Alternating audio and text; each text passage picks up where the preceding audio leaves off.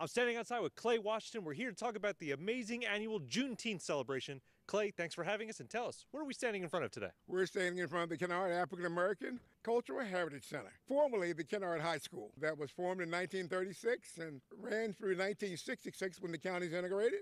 It's a perfect place and a perfect time to celebrate Juneteenth. Yes. So, what do you guys got going on for that day? We're going to start off with some information about Juneteenth. Number one, we'll have a, people telling stories. We will have vendors. We will have food trucks. Uh, we will have uh, cultural exhibits inside the building. And we'll have our museum that's going to be open with new exhibits also.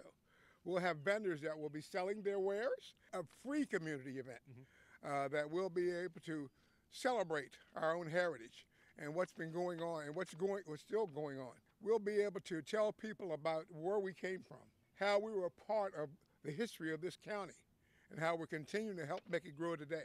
Yeah, and people get to come, they're going to learn about culture they can read, but they're also going to get to listen to some old culture, right? Yes, we've got some music that's coming up. We've got a group called Sombarkin out of Kent County, uh, Negro spirituals and slave songs and, and culturally uh, relevant music. Uh, we also have a, uh, a young group of young adults called Friends in Faith that will be here singing with us.